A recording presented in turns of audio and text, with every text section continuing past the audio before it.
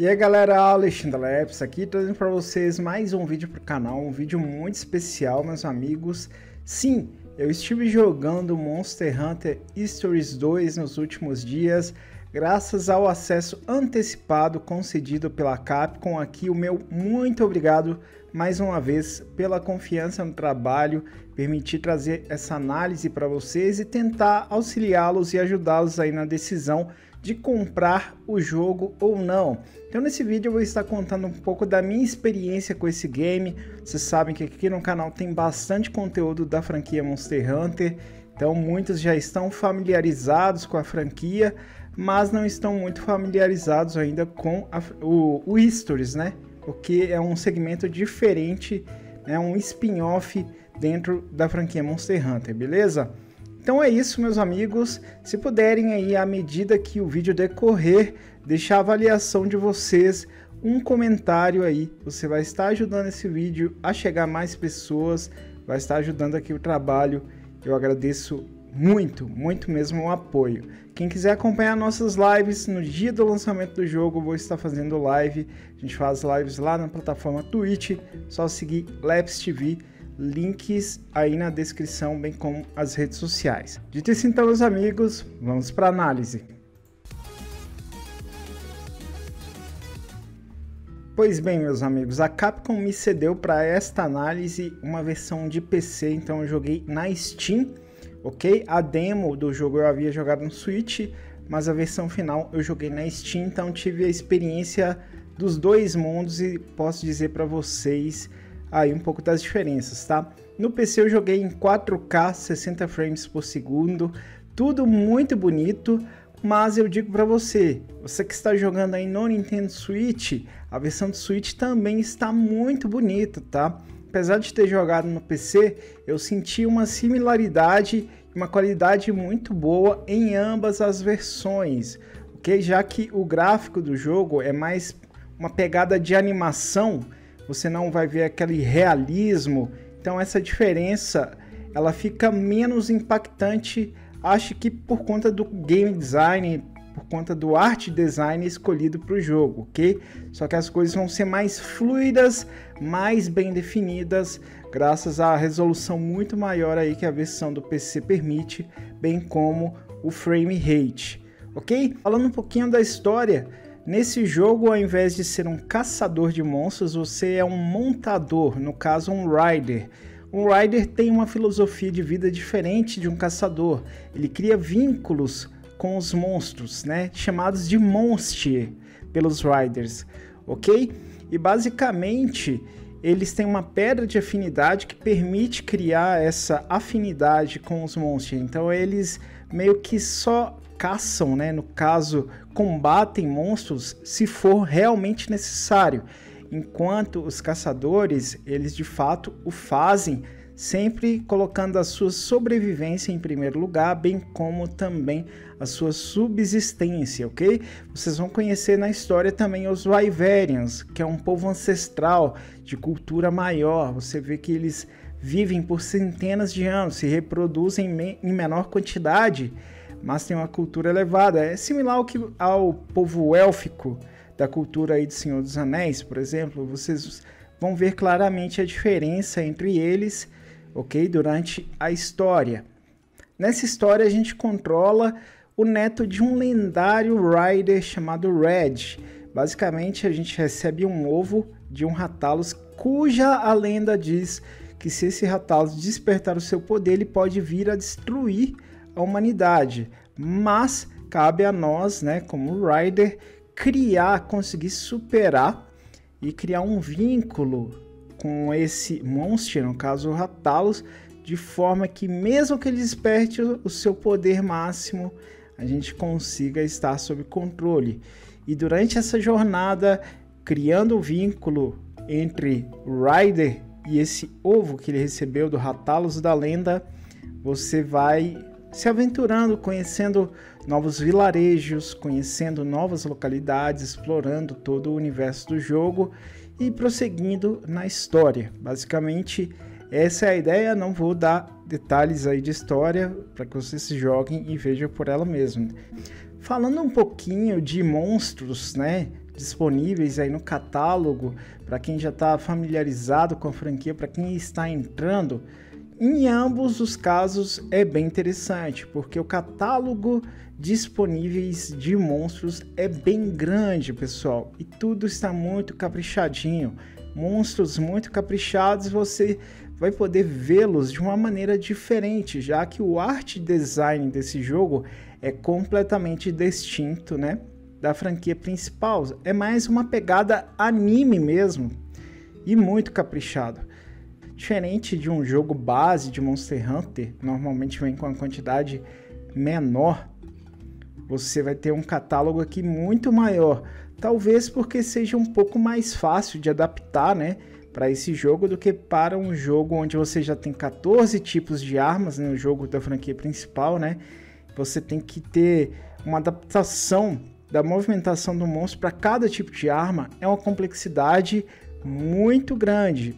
Aqui, como é um RPG de turnos diferente da franquia principal, se torna um pouco mais tranquilo e eu acho que isso permite trazer um arsenal, né? Um conjunto de monstros maior. Então isso é muito positivo. Você vai poder aí ver vários dos monstros que você gosta da franquia e para você que é novo, vai ficar familiarizado com vários deles também, para quem sabe dar um passo para conhecer a franquia principal, tá? Então, ponto positivo aqui. Armas disponíveis. Tem todas as armas disponíveis? Não, não temos. Temos basicamente arco, né? O espadão, que é a Great Sword, a Gun Lance, que é a lançarma. Temos a espada escudo, que é a Sword and Shield, Hammer, que é o martelo, e o Hunting Horn, que é o berrante de caça. São seis tipos de armas e baseados aí em dano de impacto, dano cortante e o dano de é, perfurante, no caso, tá? Que no caso aí é o arco e também é, o, a lançarma, né? Fazem o dano perfurante nesse caso, né? Basicamente, eles se baseiam nisso. A mecânica de combate é bem diferente, né? Já que é um RPG de turnos, a gente vai falar um pouquinho sobre isso. Mas antes eu queria falar um pouco do mundo, né? É um mundo semi-aberto, tá, pessoal? Com áreas bem grandes para você poder explorar. E à medida que a história vai progredindo, você vai visitando novos vilarejos, vai disponibilizando novas áreas que ficam travadas, elas vão se abrindo, tá? Tem alguns locais no mapa que você só consegue acessar se você pegar um monstro que tem uma habilidade específica para isso. Então, ah, chegou um momento que tem uma água e você não consegue atravessar. Vá procurar um monstro para o seu time que tenha a habilidade de conseguir atravessar aquela água, consiga nadar. Ah, tem uma ali, por exemplo, tem uma rinha, né? Alguma coisa ali na parede você não consegue escalar. Procura um monstro que tenha a habilidade de escalada. Tem um local que eu preciso pular. Procura um monstro que tenha habilidade para pular, tá? Então, esse mundo ele vai ter vários locais que você só consegue acessar com habilidades dos monstros que você vai pegando no decorrer da sua jornada. É bom sempre ter ali uma diversidade de monstros para que você consiga fazer isso, beleza? Tem quebra, é, você tem habilidade para quebrar pedras, por exemplo, tá? Ele é um mundo completamente aberto? Não, ele é semi-aberto cujas áreas, muitas delas têm alguns pontos de viagem rápida, o que ajuda muito, já que depois de completar uma missão, muitas vezes você só tem que voltar no personagem que te pediu a missão para reportar o resultado. E para não ficar perdendo tempo ali, voltando todo aquele caminho, o jogo te permite fazer viagens rápidas, o que é muito positivo deixa o jogo mais dinâmico, mais direto ao ponto, tá? Então tem vários pontos de viagem rápida espalhados nesse mundo e aí você vai desbloqueando essas cidades e tudo mais e ali vai meio que se tornando, né, de certa forma, um mundo aberto que você vai conseguindo deslocar de uma área para outra à medida que o jogo vai avançando e vai liberando essas novas áreas para você.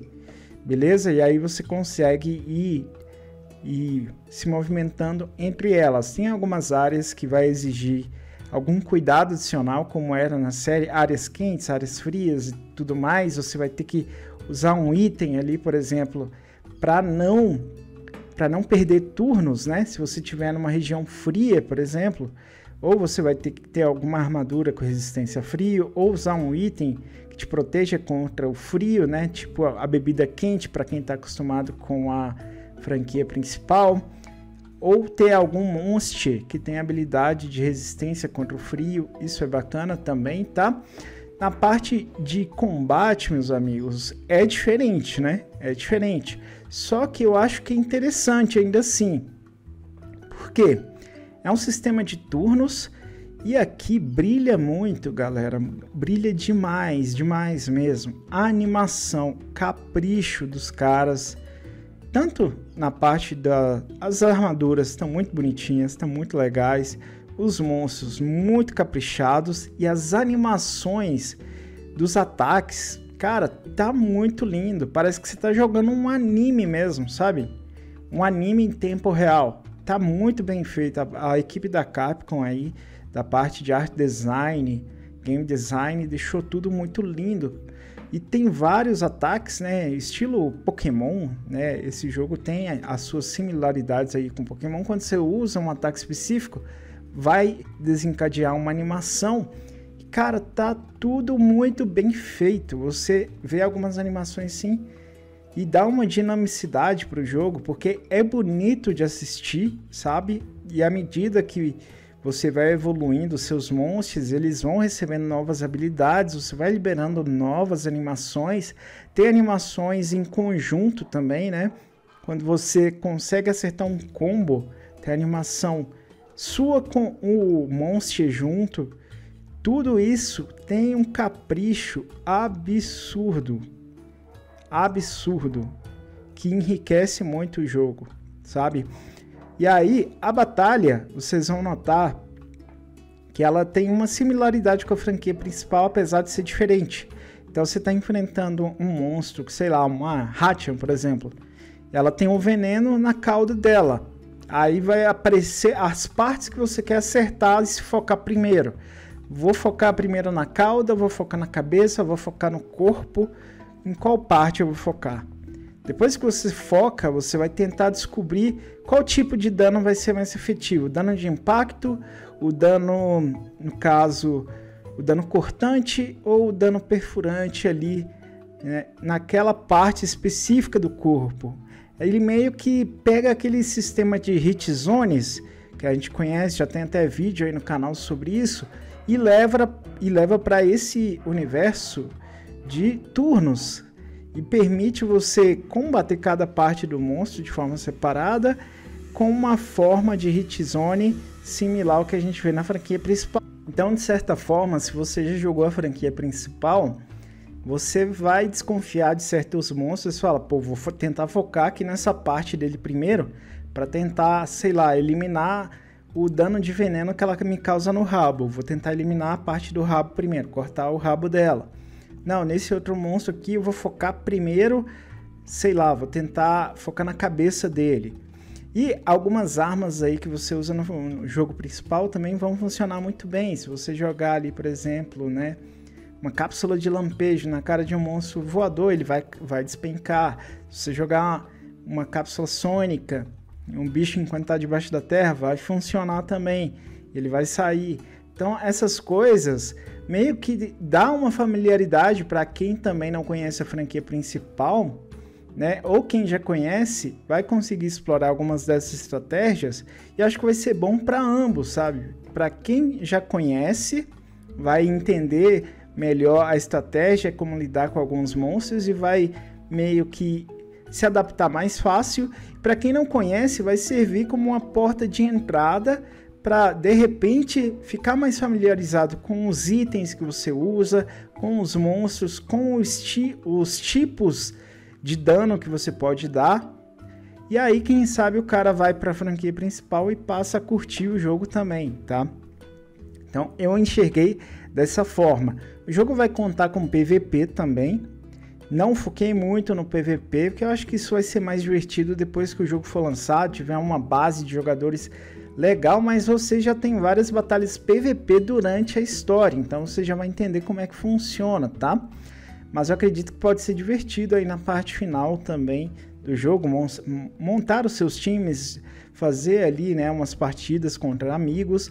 Vai ter um modo cooperativo onde você vai se aventurar com seus amigos em algumas quests ali de expedição. Vocês podem se juntar, jogar juntos, enfrentar monstros específicos daquela quest, pegar ovos para tentar aí montar os seus times, né? A complexidade está mais ou menos similar à mecânica que Pokémon faz. Não é bem um cruzamento de Pokémons. Aqui tem um, um sistema chamado Ritual de Legado que permite que um monstro passe uma habilidade que ele tem, um gene que ele tem para outro monstro. Quando ele passa, ele acaba morrendo e o monstro que ganhou se torna mais forte com aquele gene. E assim você vai tentando montar a sua equipe perfeita, certo? Se a Capcom disponibilizar pra gente no endgame desafios interessantes, difíceis, você vai enfrentar aquele monstro, vai apanhar bastante. Pode ser, meus amigos, que se torne muito interessante essa parte do endgame, tá? Tentar montar um time legal ali para enfrentar esses novos desafios, Elder Dragons e tudo mais porque vocês já viram, a Capcom já bolou um roadmap aí para os próximos meses com várias atualizações gratuitas para o game, tá? Se você não viu, tem vídeo recente no canal falando sobre isso. Vou deixar o roadmap aí na tela só para vocês terem uma noção. Então, a ideia é mais ou menos essa, depois que você completar a história, continuar jogando pois o jogo vai ter conteúdo aí de endgame, tá? Novos desafios para você enfrentar, te estimulando a continuar jogando com seus amigos de forma co-op e também PVP. OK? Então, combate muito bem feito, brilha, animação lindíssima. Eu tenho certeza que vocês vão ficar muito felizes com essa parte de arte design do game que realmente está muito caprichado. Agora, a parte de música. Fica devendo, Leps? Cara, música também padrão Monster Hunter. Quem acompanha a franquia sabe, tudo orquestrado, tudo bem feito, tudo muito lindo. É isso mesmo. Você chega no vilarejo, dá vontade de deixar a musiquinha tocando lá, é relaxante mesmo, sabe? Enquanto está no mundo aberto, normalmente não tem música. É mais deixa a exploração mesmo, né? Deixa a exploração ali, você sentindo as pegadas, o barulho dos monstros. Quando entra no combate, aí começa a musiquinha de combate, música boa também, te deixa animado ali para o combate. As músicas dos vilarejos, uma mais bonita que a outra, uma mais relaxante que a outra, sabe? Padrão dos vilarejos de Monster Hunter que você já está acostumado. Já, se você não jogou, tem a possibilidade de você jogar a demo e lá você vai ver a música do primeiro vilarejo lá já é bonita pra caramba e se mantém na mesma qualidade à medida que você vai progredindo no game, tá, pessoal? Sem me estender demais, porque eu acho que eu já talvez já tenha até falado muito, pessoal. Queria dar aqui o meu veredito, tá? Vale ou não a pena, Lab? Se você gostou dessa experiência, eu diria o seguinte, meus amigos: se você pretende jogar Monster Hunter Stories 2, você tem que ter a mentalidade de que o jogo é diferente do jogo principal. Você vai estar jogando um jogo de turnos. Se você curte jogo desse estilo, você vai se divertir bastante com esse game. Tem muitas possibilidades de estratégia. Você que já é familiarizado com o universo vai se divertir ainda mais porque você vai estar enfrentando monstros que você já conhece ok? Você vai tentar bolar suas estratégias, tentar descobrir pontos fracos e é claro o sistema ele permite alguns desafios, né, para você meio que conseguir vencer aqueles monstros de forma mais eficiente. E nesses desafios, se você conseguir vencer, por exemplo, antes de tantos turnos, você tem uma recompensa maior. Dessa forma, ele te instiga né, a criar armaduras, específicas para aquela batalha, armas específicas para aquela batalha, similar ao que você vê na franquia principal, né? Um sistema que você vai bolar estratégias, se preparar para aquela batalha específica, para aquele monstro que te deu, sei lá, um trabalho inicial, você consiga vencer de uma maneira mais eficiente quando você tem uma estratégia bolada, quando você conseguiu é, preparar melhor a sua equipe, o seu armamento, a sua armadura e por aí vai, tá pessoal? Se você entrar com essa mentalidade, eu acho que você vai curtir muito Monster Hunter e Souls 2. Pelo capricho que eu vi na parte de animação, na parte musical, na quantidade de monstros disponíveis, eu acho que vale sim o preço. Na Steam está custando 180 reais, no Nintendo Switch está custando 250. Vale o preço de lançamento? Eu acho que vale sim o preço de lançamento para você que é fã da franquia Monster Hunter. O jogo é longo, meus amigos. O jogo é longo, tá? Você vai jogar tranquilamente pelo menos 50 horas. E aí depois a gente vai ver mais a questão do endgame, né? Se o endgame vai ser bem alimentado com bons desafios, isso depende mais da Capcom do que de nós. Mas aí tem as awards, né? Você vai ter ali o seu cartão de montador, de rider, com várias awards para você completar, similar à franquia principal. Então, são vários desafios para você completar, que já vai te tomar ainda mais e mais horas, se você quiser fazer 100% do game. E aí depois é continuar jogando aí as atualizações gratuitas que a Capcom vai trazer também, né? E espero que seja bem desafiador para manter engajado e sempre tentando ali fazer uma equipe legal, né, para esses novos desafios. Pelo menos eu enxergo dessa forma. Do meu ponto de vista, vale a pena e é um joguinho gostoso para você pegar, mesmo quando quer jogar de forma mais casual, sabe? Ah, vou só dar um rolê ali com meu amigo, tentar pegar uns monstros novos. Ele tem como se fosse uma espécie de Poké Agenda, né? Você vai completando ali aquela lista toda do glossário que você tem, né? O bestiário ali e conseguindo mais informações dos monstros e tudo mais. Então, ele tem várias possibilidades para você continuar jogando, seja só para completar o seu bestiário, seja para fazer o PVP, seja para jogar com seus amigos, seja para enfrentar desafios que a Capcom deve colocar para a gente no final do game. Beleza, pessoal? Essa foi a minha análise, eu espero que vocês tenham gostado, meus amigos. Se ficou ainda alguma dúvida, pode deixar nos comentários que eu vou estar respondendo. Se você quiser apoiar meu conteúdo, você pode estar deixando a sua avaliação, comentário, compartilhamento com amigos. Você pode se tornar um membro do YouTube ou um sub lá no Twitch. E se quiser fazer parte, tem a nosso Discord aí também na descrição, beleza? Então é isso, eu vou ficando por aqui, espero ver vocês nos próximos vídeos. Um forte abraço, valeu e fui!